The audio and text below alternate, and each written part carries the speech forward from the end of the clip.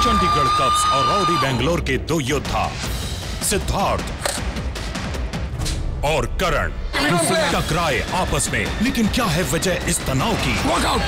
Frooti box cricket league शनिवार और रविवार शाम साढ़े चार बजे।